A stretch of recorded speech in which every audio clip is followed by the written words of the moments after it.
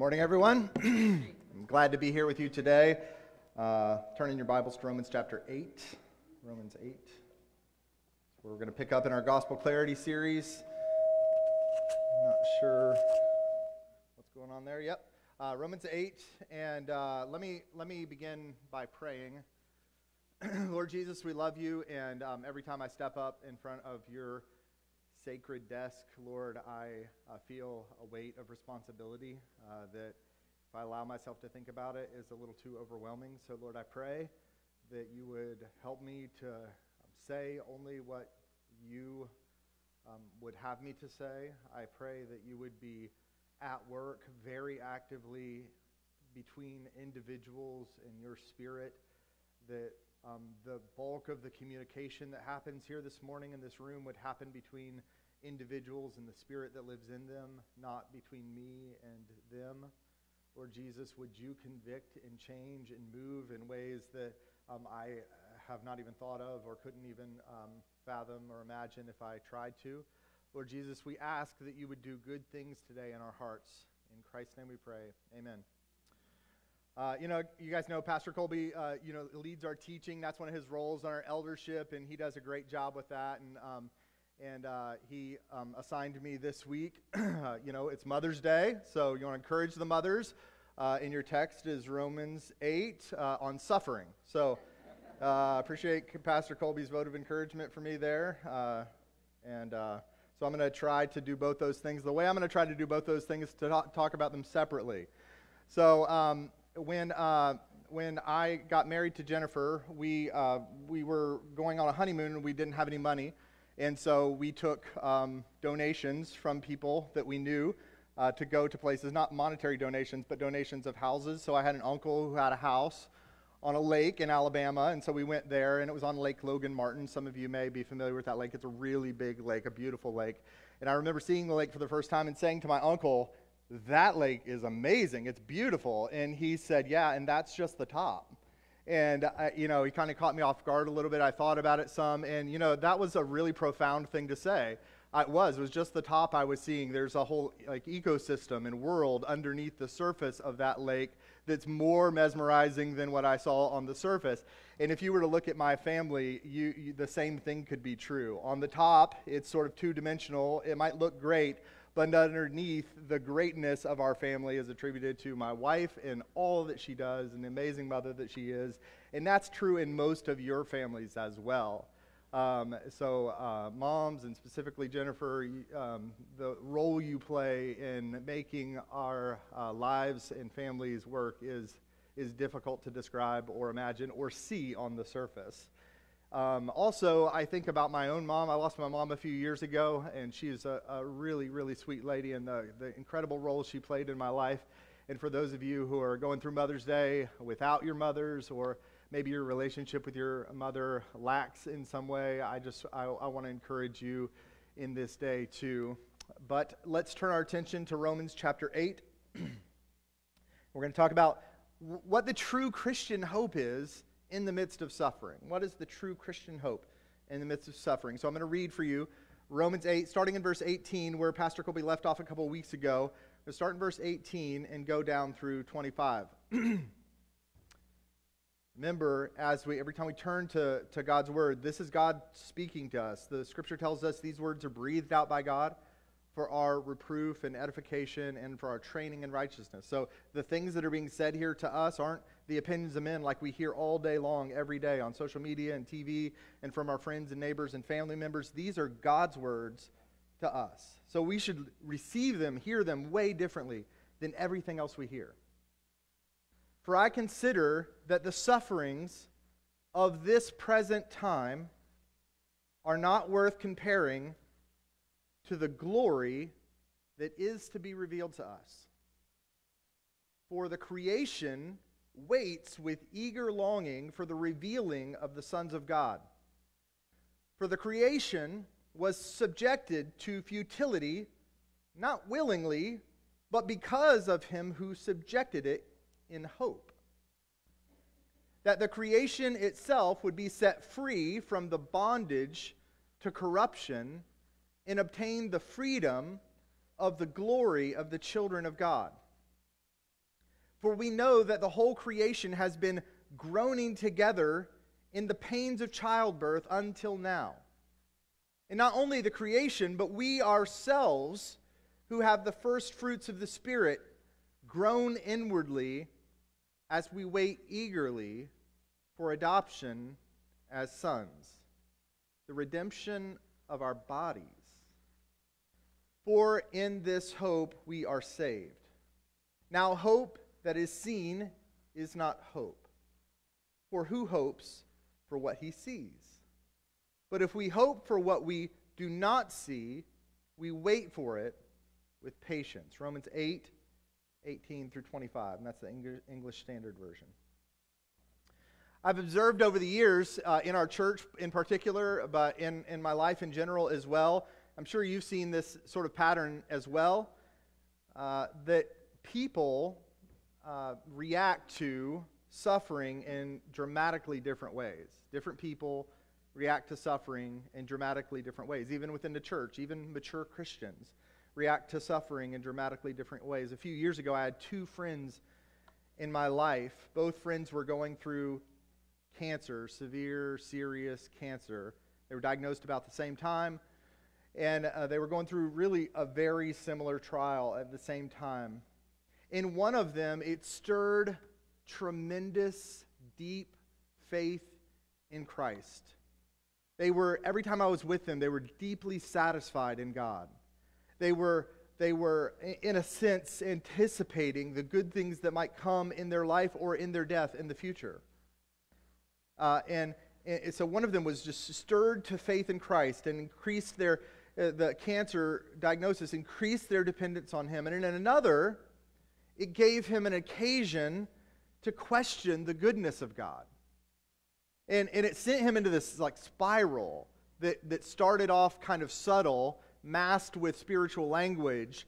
But as, as things got worse and worse and worse, the spiral continued down to a spiral of anger and ultimately unbelief. Suffering is normal. It's a normal part of the human experience. It's a, certainly a normal part of the Christian experience. Um, it's to be expected, even for us. It's not just that um, it could happen to us, it might happen to us. If we're lucky, we'll avoid it. No, that's not the way the scripture talks about suffering in the life of a Christian. It is promised to us, it's a promised aspect of the human experience. And for the Christian, suffering is to be welcomed as a gift. Wow. I mean, we, we talk about this kind of a lot here. Uh, we're, we're, not a church that avoids uh, sort of the hard truths. So this, this theme comes up a lot in the Bible, right? Uh, even in the book of Romans, as we've gone through, chapter 5, we dealt with this exact issue. Uh, uh, suffering is, is not just something that we're to navigate around, but it's something we're to welcome in because it actually comes, according to God's word, from God, and it's packed with purpose. We're told, like uh, James is a great example of this. Uh, uh, James in chapter 1, we're told by James, this is Jesus' half brother, and he, he tells us to count it all joy when we face trials of various kinds, when we face different forms of difficulty and, and suffering. We're to count it as joy. That means when the suffering thing comes our way, the Christian response is joy. But we know that that's often not the Christian response. It's not the response our heart gives when we face trials of various kinds. Understanding that the testing of our faith, the reason James says we should count it joy is because we understand something that maybe the world doesn't understand. And what we understand is that the testing of our faith produces in us something that's really, really valuable in the Christian life, and that's steadfastness. So we go through difficulties, trials. They're brought about in our lives because God has permitted them, allowed them, made them to take place, dependent on your theology there. Uh, God brings those or allows those things to come in, into our life, and, it produces in us, He lets them into our life because it produces in us some form of steadfastness. Now, you can imagine this if you're a parent. There are things you allow into your lives, uh, to the lives of your children that are less than pleasant. Uh, sometimes those might be punishment, sometimes they might be hard work. Goes on to say, just as James does, and endurance produces character. Character. So the development of our character, the character in our lives, is connected to the, the sufferings that we endure that are permitted or given to us by a God who loves us and is a father to us. In character, he goes one step further than James. He says, in character, actually produces hope. This is really powerful. We can, we can find hope in this life. We can anticipate good things into our future, which opens up the opportunity for us to be joyful because of the suffering that we've been has been permitted into our life, the steadfastness, the endurance is produced, in the character it develops. And the hope does not put us to shame because God's love has been poured into our hearts through the Holy Spirit who's been given to, to us in abundance that will produce this joy and hope in our lives. So ultimately, the big idea that I want you to walk away with today as we think about suffering is that the suffering that has brought about in your life is from God. It's for the production of endurance and steadfastness. It develops your character and makes you joyful and hopeful. That is a great progression. So here's what you're supposed to know about suffering from the Christian perspective Romans 5, James 1. Suffering is inevitable. We're told that right from these passages. Suffering is inevitable. It's going to be a part of all of our lives uh, at various levels. You know, we, have, we, we watch some people who suffer tremendous difficulty. We look at their lives and we can't imagine going through the things they've gone through, yet they find themselves to be joyful. Uh, like it, it's, it's uh, uh, hard for us to understand. And we, and we go through sometimes things that are, are difficult to us, but other people might look at them and say, ah, that's nothing. I've been through a lot more than that. And, and it crushes, it can crush us. You know, so, so it's, it, it's very subjective at times um, how the, the suffering feels uh, to us as individuals. So suffering is inevitable for us at various levels, no matter how severe it is. It feels severe in the life of the one suffering. Suffering is inevitable. Romans 5, James 1. Also, suffering is purposeful. That's something else I want you to see. We talked about that already, but there's always purpose in our suffering. Suffering isn't wasted. The, the, the problem in many Christians when they face suffering is that they feel like it's arbitrary. It's wasted. It's not useful. Think of how differently we might receive the suffering that comes into our life if we recognized it for what God says it actually is something that's intended in our life to make us joyful. I mean, if, if we saw suffering coming down the road for us and we were able to embrace it and receive it as something God was doing in us, we would, we would find ourselves to be much more willing to learn the lessons that they're intended to teach. Suffering is not just inevitable, but it's purposeful. And the other thing I want you to see in, in suffering is that it ends, it always ends for the Christian in hope. Suffering the end of our suffering is joy and hope in God. Produces steadfastness, brings completeness, produces character, brings hope. With that as a sort of preface, let's look at verse 18, the passage we're looking closely at today. Verse 18 For I consider that sufferings, the sufferings of this present time, are not worth comparing to the glory that's going to be revealed to us. So, what, what, what Paul's doing here is he's, he's starting the whole conversation about suffering off with, a, with it being a comparison. He's saying the sufferings that we're going to go through, those are, are, are small in comparison to the great reward that we will receive in God.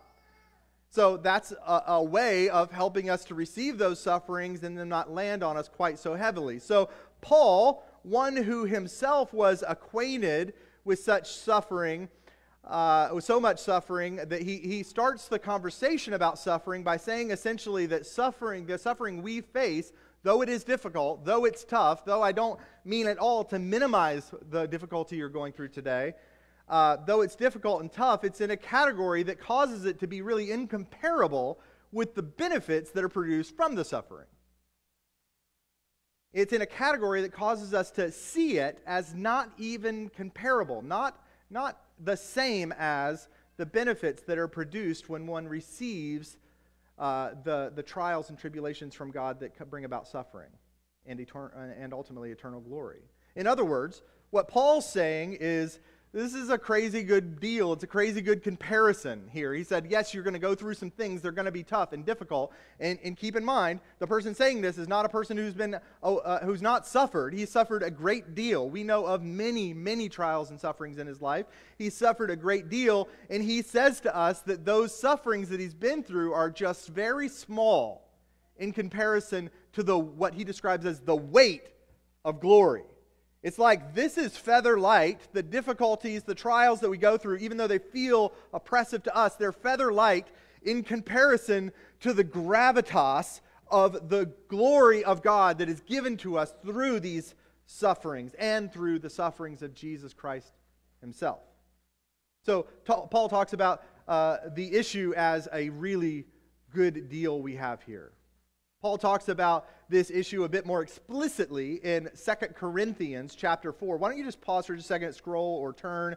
2 Corinthians chapter 4 verses 17 and 18 because this is one of those moments where paul kind of if you if you uh, are able to cross reference and look around paul kind of clicks and expands he just touches on an idea here in romans but if you were to click on that and expand it to 2 corinthians chapter 4 verses 17 and 18 you'd see a bit more about what he means when he says that phrase. So this is 2 Corinthians 4, verses 17 and 18. So what's, what Paul said here, remember, is that the sufferings don't compare. I consider the sufferings of this present time not worth comparing to the glory that's being revealed to us. Look at verse 17 and 18 now in 2 Corinthians chapter 4. He says, for, and he's talking about the same suffering. He says, for this light, momentary affliction is preparing for us an eternal weight of glory beyond all comparison. So he describes the heavy, oppressive, difficult suffering you're facing right now, I'm facing right now, that we're sure to face further along in our life, the difficulties that are native to humanity and native to Christianity. These difficulties, Paul describes as a fellow sufferer with us as light and momentary. You see how what he has done is he's, he's withdrawn himself to the bigger picture. He's backed up from the actual issue at hand, the difficulty and suffering. He's not staring at that. He's backed up from that and he's put that in the context that it deserves to really be in in our lives. He backed up from it and he said, in comparison to all of the glory we are to receive in Christ Jesus, this thing we're facing is described as light and momentary. Nothing I go through feels light and momentary to me unless unless I have the wherewithal to back up and see my light and momentary affliction in light of the eternal weight of glory. I mean, if I'm looking at the eternal weight of glory, the affliction looks light and momentary. But when I'm staring at the affliction, it looks it looks huge. It looks like it's massive. It covers all of my life, so I can't see anything else. For this light and momentary affliction, what is it doing? The light and momentary affliction is doing a work. Remember, Paul's talked about it doing a work. James talked about it doing a work. What's the light momentary affliction doing? It's preparing us for the eternal weight of glory. It's getting us ready to really enjoy God. It's getting us ready to really savor the goodness of God. He's saying, against the dark backdrop of suffering, the light of Christ shines really brightly. As we look not to the things that are seen, he continues on in verse 18, as we look not to the things that are seen, but to the things that are unseen. See, I was talking about zooming out. Not just seeing the things that are seen, like right in front of me, my sufferings, my difficulties, my distress, my problems, but zooming out from those and being able to see the things that are not normally seen when we focus so much on the difficulties and sufferings.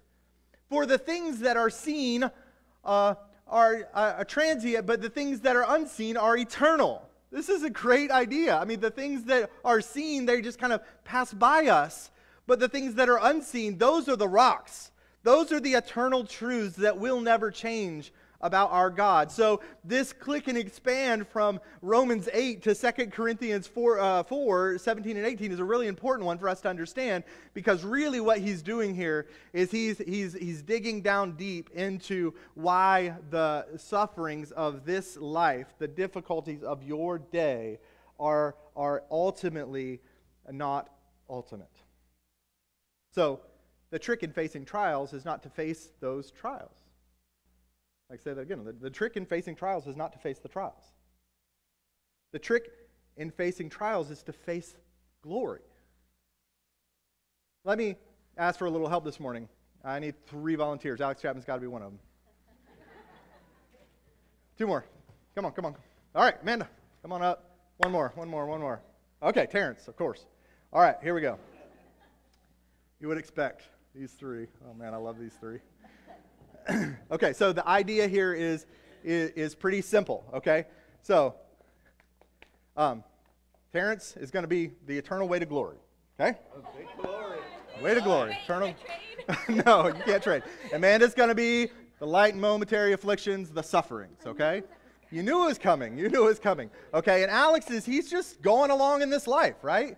He's going along in this life and he's just focused on the thing that's happening, and all of a sudden, he gets smacked by a, a, suffering. now, what he does in this instance is really important for his overall perspective, isn't it? If Alex does what most people would do, he's going to turn head on here and they're going to start waging war. uh, we could we could just do this all day long, couldn't we? but but if Alex does the other thing and he turns away from the suffering toward the eternal way to glory and he embraces the eternal weight of glory, he's he's not going to deal with the sufferings of this life, the light and momentary afflictions. Thank you guys. You crushed it, of course. Uh, that went way better than I expected. Usually those things go off the rails. They're, they're hit and miss, but boy, that one was good. Uh, you get the point, though, that as we turn our attention away from those things that are light and momentary afflictions, according to Paul, as we turn our attention away from those things, they really can't capture our attention and our imagination. It's only when we stare at them and we engage with them that they capture so much of our lives. And let me tell you this if you are, pre, if you are spending any moment on, on the internet, everyone on the internet right now, in an ultra sensitized way, is staring with all of their intensity at all of the difficulties. No one on the internet is talking about the eternal way to glory. So when you engage in, in, in, in, in social media, when you turn it on, you are saying, Oh, I want to just swim around inside the sufferings of this life. I just want to live there and, and be entertained by it. And I want to see post after post after post after post after post after post until I just conk out in bed of the light and momentary afflictions. I mean, it, we, I don't even think we like realize what we're doing. And I'm not throwing a grenade at you as somebody who does this, unlike me, who's holy, who's always reading my Bible. No. I'm, I'm a person scrolling the same thing. I find the same addiction at, in my heart. I have an, a fascination with the difficulties of this life. I want to see those. I'm amused by the difficulties of others. But my attention should be toward, toward full on the weight of the glory of God. In so many ways, our posture towards suffering, our theology of suffering, will determine our experience in suffering. You see, you wake up every morning with the opportunity to look square in the face of your suffering, examine it from head to toe, wallow around in the pain of it, consider it again and again, or you have the opportunity, like Paul has said here to us, like his encouragement to us, to turn your face toward the eternal weight of glory. Look at Terrence, y'all.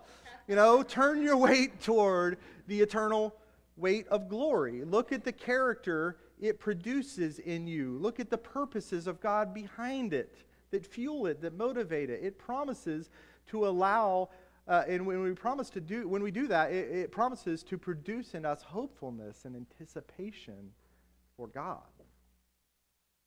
Look at verse 19. Go to the next verse. For the creation of the world, or I'm sorry, for the creation waits with eager longing. That's what the creation does. We're the creation, right? We and all the rest of the world that have, are created, uh, created beings, created objects. All the creation with eager longing looks.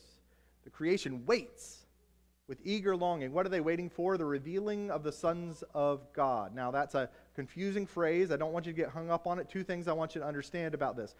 The phrase, the sons of God, is used elsewhere in the Bible. You see it in various places. It means various things. Often it means angels.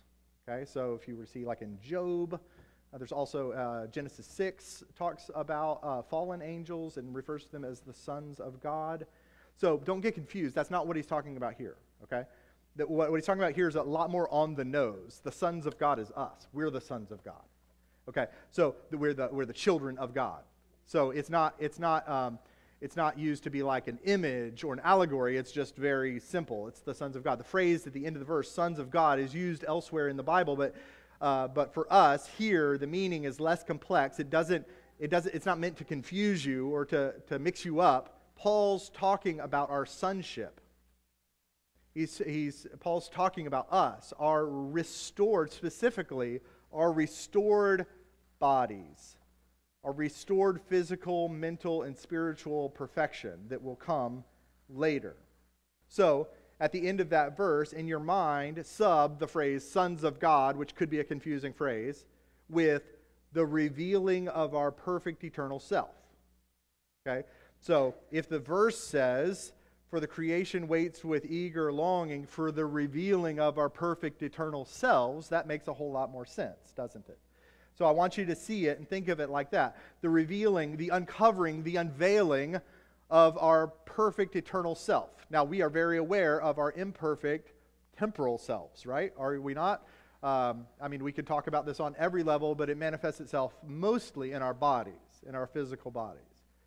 Um, we find ourselves wasting you know, we find ourselves aging and, and, and sort of falling apart. It's amu- I don't know about you, if you're an adult, it's amusing to watch my kids who like sort of have in their minds, like I did when I was that age, that their bodies are going to continue to get better and better and better until perfection. They don't know that it's a hill that has a crest. They're, they're just not aware. So, because everything they know about this life is that the body gets better and better and better and better and better, but they're about to crest the hill, and I can't wait. It's going to be really exciting for that to happen. They think their metabolism is going to continue to get better. They think they can eat whatever they want, not exercise, not do anything. They just think they can keep going. But I know it's coming. I know the crest of that hill is coming. So, uh, so, but the, our bodies are a way in which we can, like, in a tactile way, we can experience this, this truth that's going on here. At the end of the verse, sub in your mind, sons of God, with the, the revealing of our perfect eternal selves. And as our bodies waste, away and we become older and older and older and uh, we become more frail and more frail and more frail. It should produce this desire for the weight of glory in our lives that will deliver a perfect eternal body. Um, paul again he talks about this in, in 1 corinthians. Paul describes our new resurrected bodies as here's the language he uses for the perishable body will put on imperishable he, he says, the uh, mortal body will put on immortality. So the thing that's wasting away will stop wasting away, and the thing that's dying will stop dying. Wow. That's how Paul is looking at the, the body that's coming. So, in the phrase, when you see, for the creation eagerly longs, they wait for that immortal to become, or the mortal to become immortal, the, the, the body to become sustainable. And then the second thing I want you to see about these verses, verse 19 there, uh, for the creation eagerly longs for the revealing of the sons of God, the revealing of our bodies, our new bodies in God.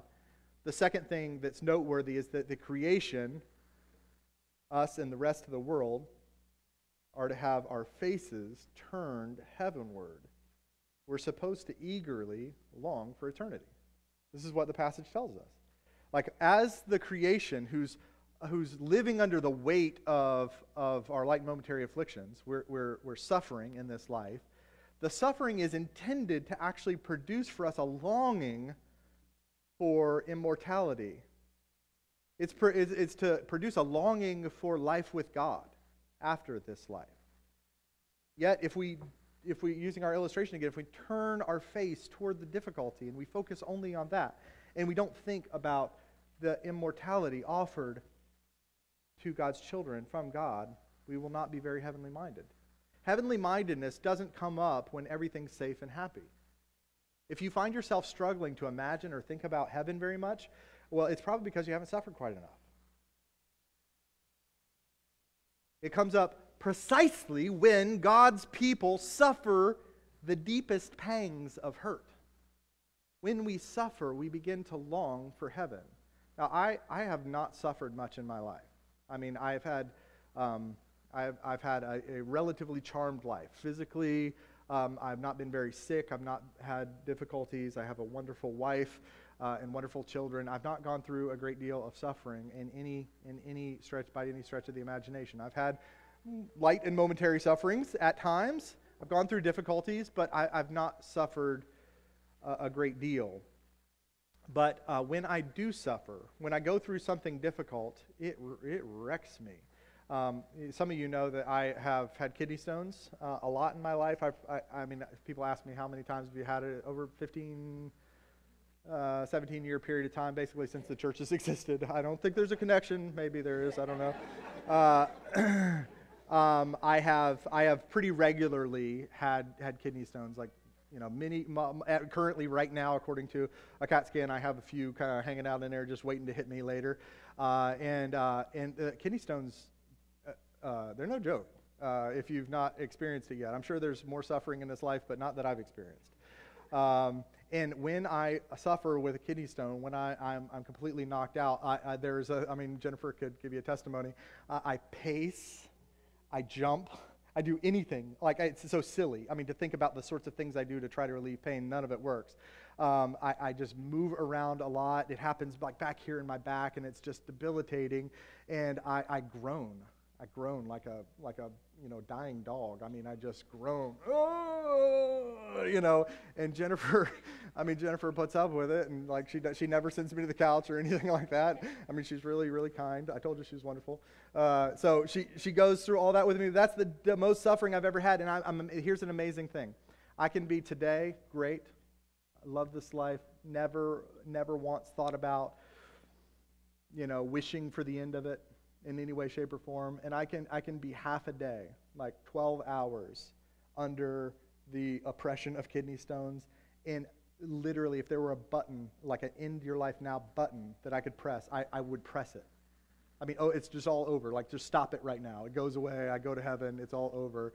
Like, when I'm in real suffering, like, um, I, am done. I'm okay. I mean, it can take as short as 12 hours. I'm not joking. You think I'm joking. I'm not joking. I, I like can go from happy and wonderful to suicidal in, in 12 hours under the kidney stone pain. It's, it's that intense for me. And that might just show how weak I am, but I'm just here to tell you that's, that's how I respond. My, my, the demeanor of my heart changes. I think, too, about Negro spirituals.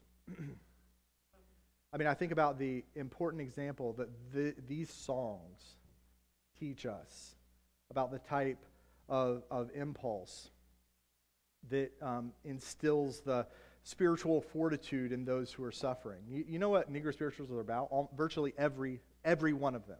I mean, if you go read the lyrics of Negro spirituals, the, uh, those men and women who were under the oppressive hand of their, uh, of their slave owners, that were suffering day in and day out under physical and emotional uh, distress, their response was songs exclusively about heaven.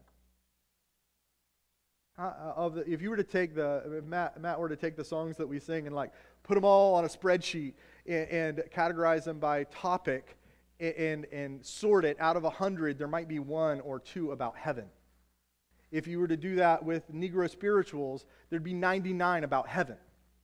Is that a coincidence? No. Because what suffering is intended pr- to produce in us is a longing for God.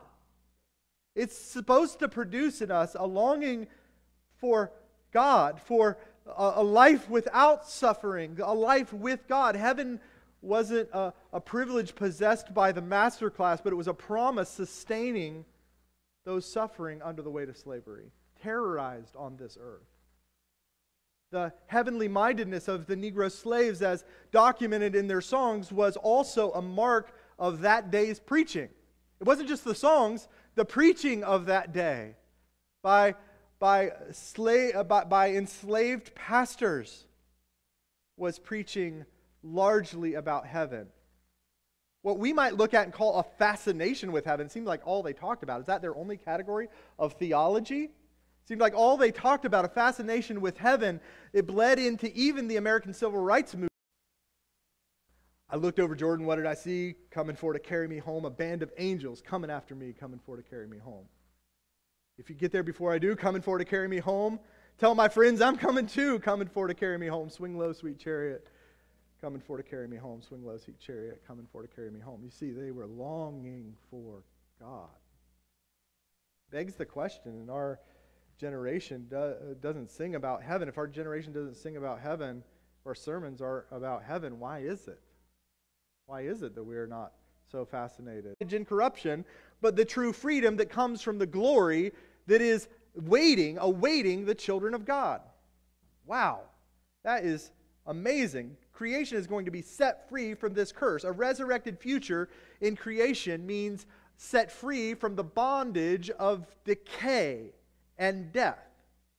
We can't even we can't even begin to fathom what it will be like to live in a world where there is not constant decay, sin, and death. But let your mind go there. Let your mind go. Like, how, how much of your mind's attention is set on protecting yourselves from the reality of the decay of our lives and our bodies, the influence and effect of sin in our lives, and the looming reality of the death of everyone we love and even ourselves? That is a heavy curse to live under, and the only reason we don't buckle under its pressure is because it's not new to us, and we've known it since we were born. We've lived inside the reality of this awful curse for so long that we don't even let our minds imagine what a curseless life, a curseless existence with God will look like. But when we suffer, when we suffer, our minds start to go there.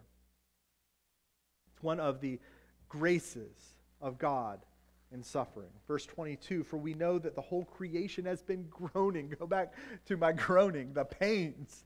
The gro- uh, like the whole creation is groaning together in the pain inwardly, but we don't groan outwardly as we wait eagerly for adoptions, for the redemption of our very own bodies, for our own bodies to be redeemed and renewed. And look how it ends in verse 24. This is so encouraging. It says, For this hope we are uh, for in this hope we were saved. What, what is he talking about? What's the hope in which we were saved? The hope of eternity with God, the hope of life without suffering, the hope for joy in eternity. We live under that oppressive weight. We're never going to get away from it. We're hemmed into it. In the midst of it, we can live a full and rich and abundant life by turning to look and anticipate the eternal weight of glory and not staring at our light and momentary afflictions. But it produces, as we look for the eternal weight of glory, it produces a hope in us that causes us to long for something better down the road and keeps us motivated in this life and puts our light and momentary afflictions in perspective. Now, hope that is seen isn't hope. Saying if we saw it, if we, if we were able to turn on a channel on our TV and kind of see what we're looking for, like a commercial for Sandals Resort or something like, like that, if we were able to turn it on and look at it, it wouldn't be the same but it's because our minds can imagine it, the promises that have been given uh, them to us in God. It, it's for us to put our faith in God, for us to trust in God, is for us to take Him at His word and say, even though I don't know that thing, I haven't experienced it, I haven't tasted it, I haven't seen it, I know it's true because I love you and I trust you, God. I, I love the the uh, illustration I've heard many times. You've probably heard it too, but Mrs. Albert Einstein one time asked, Ma'am, do you understand the theory of relativity? And she said, No, but I know Albert and you can trust him. I love that. I love that. No, I don't, I don't understand all the mysteries of God, but I know God and I know I can trust Him. I know I can trust Him. I know that the, the hope in this life is hinged upon the reality, uh, the coming about of His promises. For who hopes for what he sees? Well, we do. We are the answer to that question. We hope for what, uh, or who hopes for what he sees, uh, but if we hope for what we do not see, I'm sorry, we, we hope for what we do not see, not for what we see. That, that, that is faith. And we wait for it. We wait for the thing that God has promised to us with patience. God has given us tremendous hope in this. So here's a couple quick applications for you. If you're a person who tends to turn toward your suffering, not away from your suffering when something happens, you're a person that can't get your mind off of the difficulties and distresses in your life, you can't even begin to fathom what it would look like to look toward the eternal weight of glory instead of staring down the barrel of your difficulties and distress. If you're that person, here's a few applications for you. Number one, remember specifically these 24 words. Seriously, memorize this verse. For I consider that the sufferings of this present time are not worth comparing with the glory that is to be revealed to us. What if that came to your mind every time you were tempted to face a, a struggle or difficulty in your life? What if, if your mind could, without even thinking, as a reaction, it could remember the words, For I consider that the sufferings of this present time are not worth comparing to the glory that's to be revealed to us. So, a very practical way in which you can respond to a sermon like this, if you're a person who turns your attention all the time to the sufferings of this life, is to memorize those 24 words in Romans chapter 8, verse 18. For I consider that the sufferings of this present time are not worth comparing with the glory that is to be revealed to us. Number two, the second thing that I think you can do, a very practical thing you can do if you're a person who tends to turn towards suffering, not away from suffering, is, is, uh, is to help one another not to say crazy things and think crazy things that are going on through your mind when you suffer. Do you know when you suffer, if you stare at the suffering, you start to lie to yourself and the enemy lies to you and you let him? You think crazy, crazy things. One of my favorite 21st century philosophers named Alex Chapman told me one time, he told me one time, if the only person you have to talk to is yourself, you make crazy decisions. It's totally true. It's totally true. It was in the context of him talking about his grandmother who had a car. What kind of car was it? A Bonneville, uh, which uh, she sold for a small amount of money, $500. and he said, Grandma, why'd you do that? And she said, Well, when you only have yourself to talk to, you don't make very good decisions. and, uh, and, and it's totally true. When we talk to ourselves only, we don't make very good decisions. And so, one of the wonderful things we do for one another as the body, as the family of faith, is we help talk each other out of the lies of this life. We, we hear and see and sense the, the droop of someone's countenance when they're facing a difficulty, and we speak truth and life into their situation where it might seem awkward and a little uh, inappropriate for us to go into that space. One of the ways we serve one another is by pointing one another to the eternal way to glory. We say to one another, Oh, I know you're going through this thing right now. I, I've been there too, but I found hope in turning my face toward the eternal way of glory in taking my eyes off the sufferings of this life. So we can remind one another. We have the responsibility to help one another not say and think lies that are put in our heads by the enemy. So we can remember, we can memorize the scripture, we can remind one another, and next, we this is a real practical one. We can just remove anxiety producing influences in our lives that drive us to despair remove anxiety producing influences in our life that drive us to despair. For some of us, that means something as simple as limiting our social media interaction or shutting it down altogether. For some of us, it might mean a change of job. It might just mean, like, hey, this job's good, it pays a lot of money, but I, I get drug into the pits of worldliness and despair every single day. because of the people I have to interact with. I'm going to I'm going to trust God by removing myself from that situation. I'm not going to be there anymore. Some of it's your family, your company, your extended family, people in your life that are anxiety, anxiety producing influences in your life. And you know what that is in a way that I don't. I can't uh, stand up here and say it's, it's this person in your life or that person or this, this channel that you need to block or not think about. I can't say what he was pierced through. Why? For our transgressions. So the weight of our sufferings, the, the, the difficulties and distresses that we face, he bore the weight of them for us. The chastisement of our peace was upon him by his stripes. We were healed. Jesus, eh, the one that we are to turn to, to look toward, to trust in for the eternal weight of glory, as himself felt not just the, an equal difficulty of despair as we have, but he has actually borne our despair. It's incredible. We have a beautiful Savior who is offered to himself. And as we come together to take the Lord's Supper today, we're going to pass around the elements. What we do when we receive the, the drink and, and the, the bread is we say again, God, we believe that and we accept it into our own lives. We consume it, we make it part of us. And so let me encourage you if you are a, a believer, a follower of Christ here, and particularly if you're a person who wants to turn away from a, a, a fascination, a full on view of the sufferings of this life toward the eternal weight of glory to participate with us today in this, in this sacred meal. Let me pray. Lord Jesus, we love you. And it's your word that picks our head up out of the fascination we have with the sufferings of this world and this life. Lord, our minds are constantly drawn to it.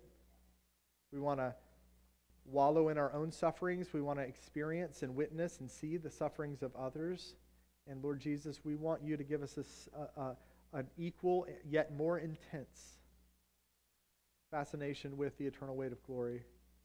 God, in, by whatever means you see fit, bring about to us a desire, a longing for our pending adoption into your home.